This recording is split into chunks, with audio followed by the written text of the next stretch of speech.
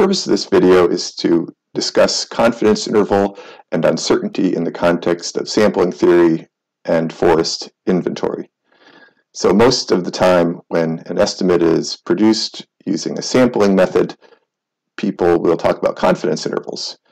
Uh, the formal definition is a little more complicated, but one can often say that if you did a lot of samples in the same way, in other words, using the same procedures, how many times would the true value be within uh, the confidence interval? Or how many confidence intervals would, cap would capture the true values if you did it again and again and again? Well, what does that actually mean?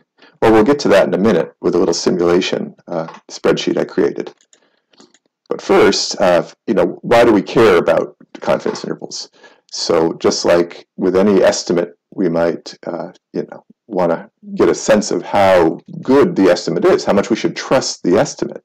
It gives us a sense of confidence about that estimate with which we can make a decision. For example, are we going to donate, uh, are we going to fund a certain project where the estimate is uh, has a small confidence interval or a large confidence interval? How do we interpret that confidence interval? So the way people would use a confidence interval when making some sort of a decision is to say, all right, I, have got my estimate that the inventory reported, and here's a confidence interval associated with it.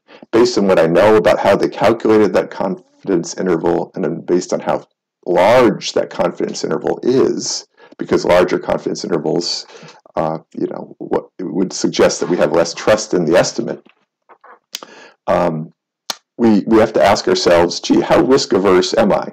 Knowing what I know about how this was done and the size of the confidence interval, am I going to make my decision? So an example uh, from a real-world application of that is that there's an organization called the Forest Carbon Partnership, and they have a, uh, a, sort of a guideline here, and this is from a few years ago, it might not be relevant anymore, um, where they look at confidence uh, estimates or uncertainty estimates that are reported along with estimates, and they apply some sort of a conservativeness factor to uh, the, the, estimate that they use in deciding how much they trust the estimate uh, in terms of making financing payments and, and, making other decisions based on the estimates that a participant reports. So if you're really interested in that, you can read about it at, uh, if you go on the Forest Carbon Partnership and look up um, um, emission reduction uncertainty. You'll find information on that. So let's go to this experiment that I've designed here. Um, we have a scenario where we have a forest. And let's just say this forest is huge. It's not just a small area like we see here, but let's just pretend that it's a huge, almost endless forest. Uh, our goal is to estimate, well, how many trees are there in that forest? How many trees per hectare are there? Well, one thing we could do is we could go in and we could measure every single tree, but obviously that's not practical. So we'll design a sample. And a logical way to do a sample is to overlay a grid over our forest, a grid of squares, let's say one hectare plots. We do a sample of those plots and we estimate, uh, we measure the number of trees in, in, that sample and we calculate an estimate of the mean and uh, the uncertainty associated with that mean. So for example, we might choose a plot and we measure those trees, and then um, we, we go out to a number of other plots and we calculate that information. So in this scenario, I've just used some tools in Excel to create the population. So in each of these cells, using this equation here, I can make an estimate of, uh, of a, a value of, of, of a mean and a standard deviation associated with a certain population type. In this case, it's a normally distributed population. So I've, I've, in effect, what I've done with this equation and this series of numbers is for every cell in my population that you know I, have created a, a, simulation where I know the values in every cell and, and the, the summary statistics associated with these are that the mean is 5 and the standard deviation is, is 1. I explain this, what all this means, and how to run the simulation in this README tab. So let's, you know, this might not mean anything quite yet. Let's go to one run of my experiment. Well, first of all, let's take a little closer look at our that's the uh, equation for the confidence interval. So the idea of the confidence interval is that this is a, just a simple equation using, using some basic statistics. S is the sample standard deviation, which you calculate right in Excel. N is the sample size. In the example in my experiment, I have one, I've taken 100 samples, just arbitrarily chosen. The standard error is the standard deviation divided by the square root of the sample size. The t-value, as you might have learned in an introductory statistics class, is, is associated with the t-distribution and it, and it uh, changes based on a confidence level that you're interested in for your confidence interval and the uh, sample size used to calculate the sample, which uh, in this case would be 100. Um, the confidence interval half width is the t-value times the standard error. So the idea is of this experiment is that you know if you recall from our from our discussion of what the uh, confidence interval uh, definition is, how many times does the confidence interval capture the true value of the population if I ran the experiment over and over and over again? And in, in, the graphics I'm going to show, we know that our population has five trees per hectare because I designed it that way.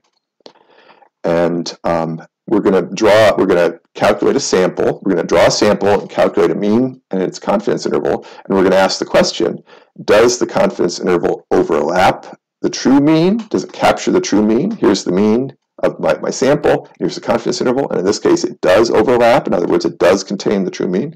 And here's an example where it does not contain the true mean. So what, what have I done here? In this example, and in, in, in these, uh, this vector of numbers here, I have 100 uh, samples that I've drawn from my population using that equation that, that I showed you. Here, I just simply labeled this one as my, the first run of my experiment n is just the count of those. In other words, it's the, it's the number of cells. I just have a large number here in case I choose to change my sample size. But it, it basically just counts uh, the, the numbers in this vector.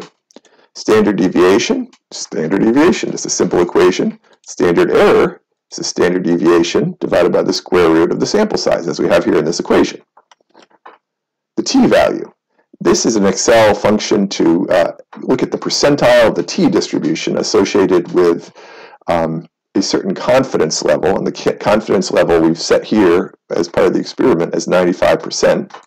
So it'll be a 95% confidence interval we're working with in, in this run. Um, and a certain sample size, and, and, and that is the, num the number of samples in our experiment minus 1 which is just uh, how the t distribution uh, is set up, uh, how, how, how, the, how this procedure is set up. You subtract 1 from the sample size, basically. So uh, the half-width of the confidence interval is the t-value times the standard error. Okay? Then I can ask the question, does this, the, the confidence interval that I've calculated, which is this thing, capture the true mean? In other words, does it capture 5? Yes or no? Return a 1 in this cell if it does, return a 0 if it does not. So in this example, it does capture 5. Uh, so I, I've received a 1. So I can hit the F9 key on my keyboard multiple times, and I can wait to see if when that changes. Here we see that it's changed because every time I hit the F9 button, I draw a new sample. These numbers change, and I ask a question, the same question, did it capture the true mean? In this case, it's a zero. The upper limit of my confidence interval is 4 points, or the lower limit is 4.6, and the upper limit is 4.9. This is the lower limit, this is the upper limit. In this graphic, it does, but it, it, for this particular run of my experiment, I would have, it would, it would be beneath the, the confidence interval would be beneath this, this level of 5. The sample mean is simply the average, right? Here I've calculated, uh, this, and this shows up in my next uh, slide, the number of times that the true mean is within the confidence interval that I've calculated. Here is the mean half width of the confidence intervals, because I, and again, this is something I'm going to show in my, uh, in my next slide the mean of the means, which is another thing we're going to see here, and the standard deviation of the means, which again, so the mean and the, and the standard deviation of this of this row, which I'm going to be filling in with, diff, with, with new runs of my experiment. So you get the idea here. In just one run of my experiment, I've, I've basically have drawn a set of samples from this population. It looks like this. I'm just randomly choosing a bunch of plots, calculate trees per acre, put the value in this, in this column. I then calculate the standard deviation, the standard error, the mean, and my confidence interval parameters. And I ask the question, did the confidence interval that I calculated capture the mean? Yes or no? Well, that's great. So why don't I run that experiment a whole, a large number of times? And in this example, this is the same exact thing I just showed you, only each column is a new, a new run of the experiment. So for example, simulation 2 is going to refer to the uh, these values, which are uh, calculated from the second column in my set of simulations. So each, each column here all the way down to 100 and n of 100 is a new run of my experiment and it corresponds with the statistics in each column. So now we've, we've got a really interesting situation here where we can say, oh, what percent of the times does the true mean, uh, is, is the true mean captured by the confidence interval that I have calculated? Okay, so what I've done in effect is I've, I've calculated 255 confidence intervals from different runs of my experiment, different sets of random samples. I, have and I've calculated and I've asked the question: Does it calculate the confidence interval? Does does it does it capture the true mean rather? Yes or no? And I've got zeros and ones here filled all the way out to my 255th sample. That, and again, that's just an arbitrary number. Well, okay, well, what does that do for me? Well, let's look at this graphic. If you, if you remember, we, we, can, we can identify whether or not each confidence interval in each run of my experiment captures the mean. Yes or no? Yes, no. We go here, I'm showing the first 100 iterations of my experiment, just arbitrarily. I could have shown 255, but it's hard to see, so I just chose 100. Just, just I could have chosen 50 or 92 or whatever. It's just, it's just the number the iteration or the run number, the iteration number of my experiment. And what I see here is that as I lay them out, experiment after experiment, about 95% of them actually ca ca capture the true mean. Some of them are way off. Look at this one. This one, just by bad luck, by a certain type of sample, just by bad luck, I did not capture the true mean. But most of the time, 95% of the time, on average, the confidence interval I calculate captures the true mean. So what does that do for me? What I can do now is take that information, now that I understand what a confidence interval is a little bit better, I can say, oh, these people reported a total carbon of 100, uh, uh, you know, 100 megagrams or 100 tons, plus or minus 10 tons. I understand what that means. 95% of the time, you know, the, the real value of the total carbon in, in my forest is probably plus or minus 10 tons. I can compare that to another inventory or another source of data and say, ooh, 95% of the time is plus or minus 100 tons. Well, gee, I trust this one more because, you know, I, I understand how both were done, but this confidence interval is the one, uh, or this sample or this, this way of doing it gives me more confidence to make, make a decision. Now returning back to the simulation, and again, I've got some explanation here so you could study it and you can look at what the different equations are doing. What I've in effect done in, in this row, in row 10, is I've created a sampling distribution of means. And this is kind of like one of the fundamental things in, in almost all the you know the, the, the frequentist statistics that you do you calculate some sort of a statistic like a mean for example you make it you assume a distribution uh, of those means, and you can describe that distribution of means and then compare your existing mean, you know, the one you get from your real sample, um, against that, right? So here I've got this distribution of means, 4.78, 5.04. On average, that distribute the mean of that distribution of means in row 10 is very close to the real population value, which is a 5. And that's one of the magical things about sampling is that if you did this experiment you know, a million times, this number would be like 5.0000001 or 4.9999995. So now let's take it to one more level here. Um, let's just say, oh, I did, I did a sampling experiment. Let's say I went out here and, and did my sample, but I only chose to collect my plots next to roads. Uh, or let's say I, I, for some reason, I didn't like to go into certain areas. Uh, so I, I, I, changed my sample, or, or, I had certain plots here that I had originally selected, but I could not visit for some reason because they were uh, they were difficult or uh, un unappealing for me for me to visit. Uh, what I've done is I have changed the selection probabilities. In other words, every point in my study area does not have a chance of being chosen, and that might might or might not cause any bad outcomes. But what it could cause is something called bias. So in this example, instead of doing my normal equation to, to draw my random sample, I've altered the probability that certain values are going to be selected. I have lowered the chance, I, I, I basically artificially lowered the mean value. So for example, uh, there might be lower values of the mean closer to roads, like I said, or there might be uh, lower values of the mean in the accessible, the easily accessible areas of my population.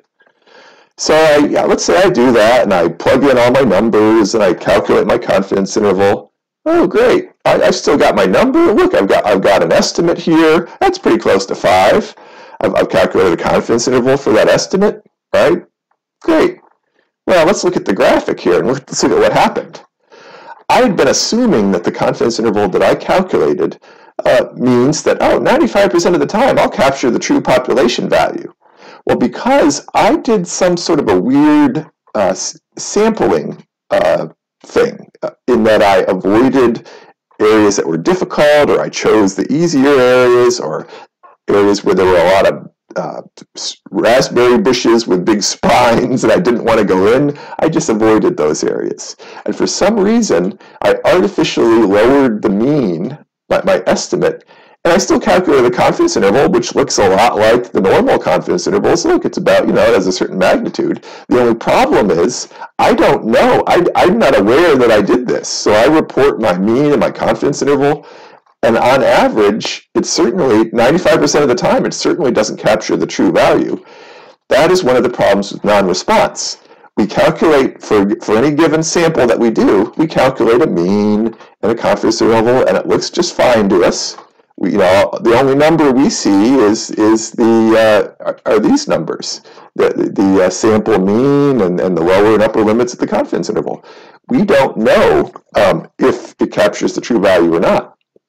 That's why we need to be very very careful with non-response and make sure that we do not introduce this bias or else we're going to end up with this situation.